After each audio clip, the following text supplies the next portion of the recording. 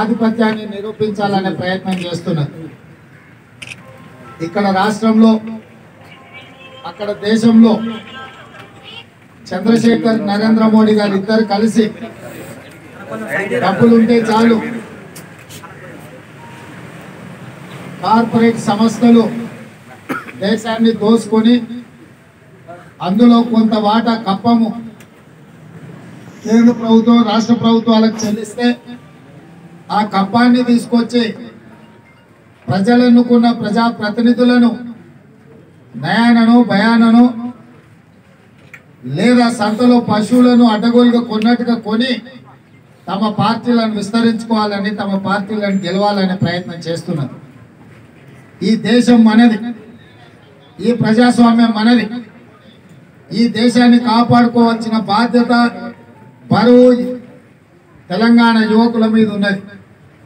ఇవాళ తెచ్చుకున్న ప్రజాస్వామ్యాన్ని నిలుపుకున్నప్పుడే ప్రజాస్వామ్యం ప్రజల వద్దకు చేరినప్పుడే ప్రభుత్వాలు సంక్షేమము అభివృద్ధిని రెండు కళ్ళలాగా భావించి పేద ప్రజల దగ్గరికి పరిపాలన వస్తుంది.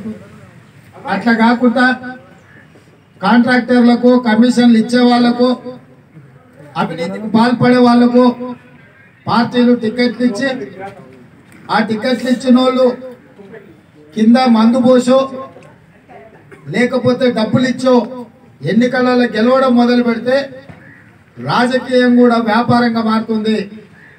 ఇక పరిపాలన అనేది ఉండదు. కొద్దిమంది పెట్టుబడిదారుల చేతుల్లోకి పరిపాలన వెళ్ళిపోయే ప్రమాదం ఉన్నది. కాబట్టి ఈరోజు తెలంగాణ ఇనేశ్వరి రాష్ట్ర అధ్యక్షుడు పల్మూరు వెంకట్ ఒక మంచి కార్యక్రమాన్ని తీసుకున్నాడు. ఇది ప్రజలకు ప్రతి కుటుంబానికి స్ఫూర్తినిచ్చే కార్యక్రమం. ఇవాళ మీరు ఇక్కడికి వచ్చిన యువకులు వివిధ నియోజకవర్గాల నుంచి వచ్చిన యువమిత్రులు మీరు మీకోసమో లేకపోతే పాల్వాయి స్రవంతిని గెలిపించడానికో కాంగ్రెస్ను అధికారంలోకి తీసుకురావడానికో మీరు ఈ ప్రయత్నం చేస్తలేరు. మీ ప్రయత్నం ఈ రాష్ట్రంలో దేశంలో ప్రజాస్వామ్యాన్ని కాపాడే ప్రయత్నం. భవిష్యత్ తరాలకు ప్రజాస్వామ్యం యొక్క స్ఫూర్తినివ్వడానికి ఇవాళ ఇదొక బ్రహ్మాండమైన కార్యక్రమాన్ని మీరు తీసుకున్నారు. మనస్ఫూర్తిగా ఎన్ఎస్ఓ మిత్రులను నేను అభినందిస్తున్నాను.